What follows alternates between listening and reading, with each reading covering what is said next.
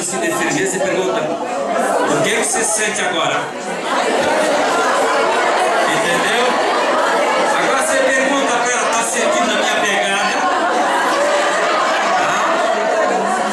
Quem quiser, fala comigo. Sou mulher de pegada. Vamos lá? Sou mulher de pegada. Levanta a mão assim. Sou mulher de pegada. Aplausos.